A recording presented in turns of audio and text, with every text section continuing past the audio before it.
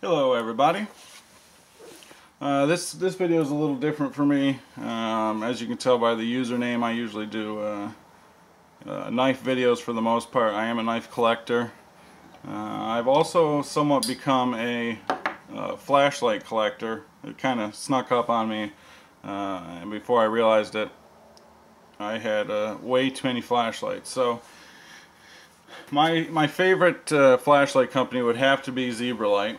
Um, they're just so unique. They're reasonably priced. Uh, the the user interface is is excellent. Um, it uses a push button switch.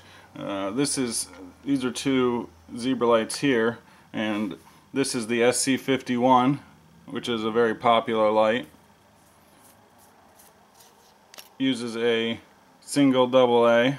This happens to be a Eneloop double A, and uh, puts out this is a neutral white version so um, it'll have a warmer color. Uh, but it put out around 200 lumens in the cool white version. And it had three main levels and then each of the main levels has a, a, a secondary selection. Um, so in this light I think there was a total including uh, the strobe function of three, four, about eight levels, if, if my calculations are correct. Orange peel reflector. This one's got an XPG if I remember correctly. Um, and I carried this flashlight for a long time. Um, one of the big things that people didn't like was the fact that this button isn't very, uh, it's, it's fairly easily activated um, in your pocket and you can fix that by uh, just slightly unscrewing the tail cap which will break the connection and make it so that you don't uh, you know the light doesn't come on in your pocket which did happen to me a couple times. And you'll know it because your pocket will be very hot. Real nice pocket clip here screwed on pocket clip uh, which is the way to go especially for us knife guys you know Everybody loves the screwed on pocket clip. You can see these nice cooling uh, fins here cut into the head. Um, and it was just a great light. I, I, I love this light. Um, they have recently released the SC52 which is a direct replacement for the SC51. Uh, this is a cool white version. Um, but you can see that their machining is just uh, spectacular. Um, the cooling fins aren't as deep on this one. And I assume that's because they there's less space. Um, you can see the head is bigger. Overall the light is actually just a little bit smaller. Um, this has an XML in it. Again orange peel reflector. If we can get this to focus. There we go. XML so it's got a bigger emitter in it which will give you a floodier beam. And this is the cool white version. Uh, again three main levels. You can tell that the bright is much brighter on the SC52 um, with a 14500 battery which is a, a lithium ion battery and which is what I have in here at this time. This is a Zebralight 14500 battery. Um, this thing will put out 500 lumens um, for one minute before it steps down. And if you want to get to that 500 again after it steps down just turn it off and turn it back on. Um, see a nice little touch here on the bottom? They've got this nice little uh,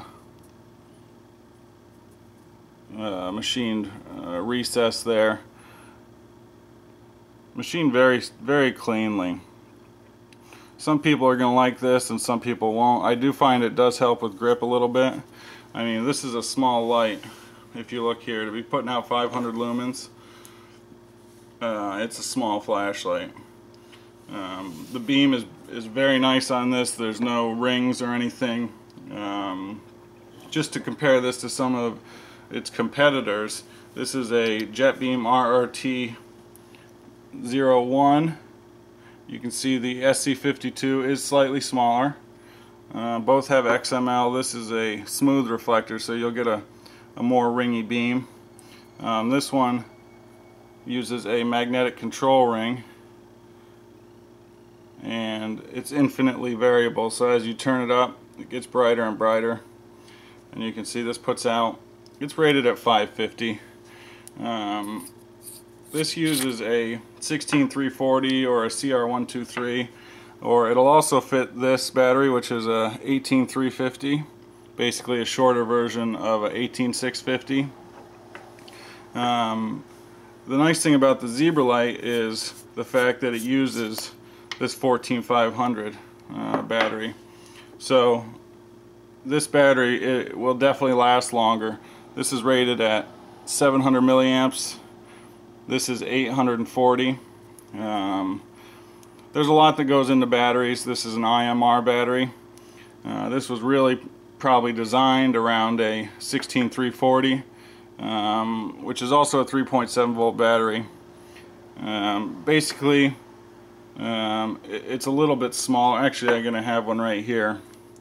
And when you start comparing the 16340 to the 18 or the 14500 um, this is rated at 750 milliamps but it's really going to be down around 550 probably.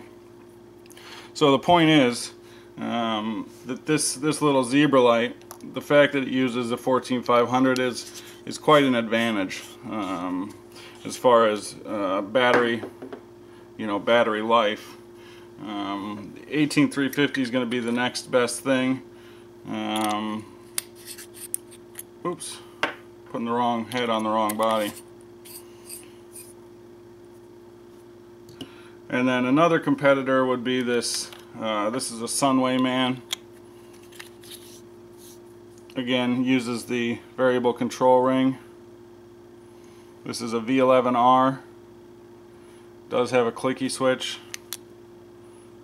And this is a neutral version, but so it won't get quite as bright as the the JetBeam, but this is fairly standard for a 16340 flashlight. You can see that this Zebralight is, is substantially smaller and thinner you know uh, the diameter is smaller. And remember this 14500 battery is going to definitely outlast a uh, 16340 battery. This one's got an orange peel reflector too. But it can't it, it still uh, doesn't compare to this Zebralight the the gentleman, his name is George, who designs these Zebralights, is is an amazing uh, engineer, I guess you would call him. There's no artifacts in this beam, no rings at all. Uh, Zebralights always have excellent, excellent beam pattern. Um, whereas even though this Sunwayman has an orange peel reflector, it does have some rings. Uh, you're not going to be able to see it in the video, but you can take my word for it. There is, there are rings in the beam. Um, if I were to, uh, oh, one more thing. The uh, this the UI of the Zebralight is as close as you're going to get to a magnetic control ring as far as levels. This this light has 11 levels all told, and the lowest low is very low. You can see it's actually on right there. Um, and then maximum. Um, so 11 levels altogether including strobe. Uh, that's as close as you're going to get, in my opinion, to the magnetic control ring. Um, and some people will like one over the other. Um, but the, uh, the last thing I was going to say is that uh, Zebralight being a knife collector, I've always considered Zebralight to be kind of the, the Spyderco of uh, flashlights. I, I think they just get a lot of things right. They don't get near as much attention as uh, some of the other brands, but um, they're they're they're my favorite by far, at least at this point.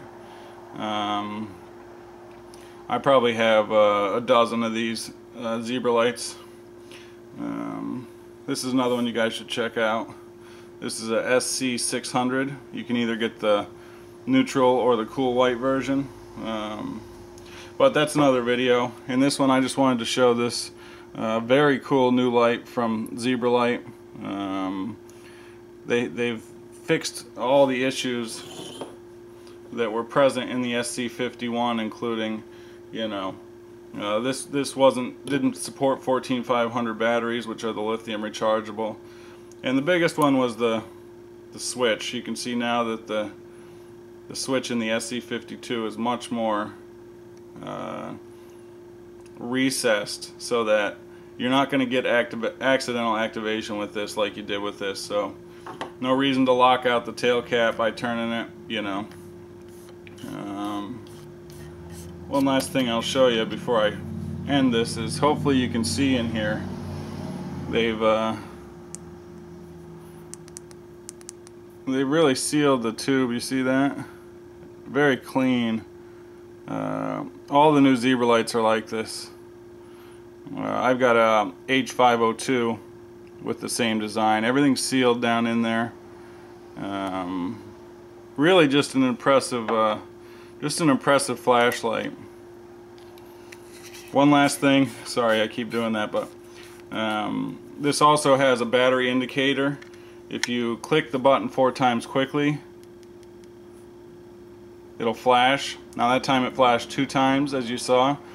It'll flash up to four times depending the battery life that's left. So right now this battery's down to about uh, you know half power so that's that's a really cool feature in my opinion so. They packed a lot of features into this little light and I'm uh, very impressed with it and I can highly recommend it. So um, thanks for watching everybody. Um, I appreciate uh, any comments you know appreciate you guys watching and uh, we'll see you on the next video